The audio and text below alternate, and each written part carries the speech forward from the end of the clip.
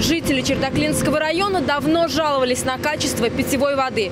Совсем скоро эта проблема должна решиться благодаря реализации национального проекта «Чистая вода», федерального проекта жилье и городская среда. Уже к 2024 году более 97% населения Ульяновской области будут обеспечены чистой качественной питьевой водой.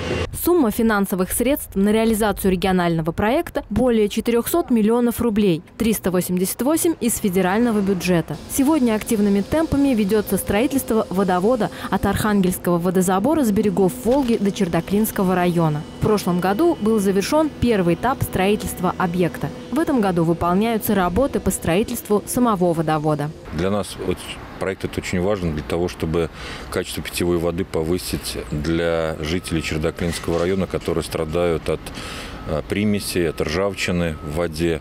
Населенные пункты Чердаклинского района, поселки Октябрьский, Мирный и Чердаклы сегодня получают воду из артезианской скважины, но без специальной подготовки. В связи с этим было решено построить новый водовод. Администрации Чердаклинского района заключен контракт о строительстве водовода. На первом э, этапе это скважина, на втором э, непосредственно водовод от станции водоподготовки э, городского водоканала в поселок Октябрьский Чердаклинского района.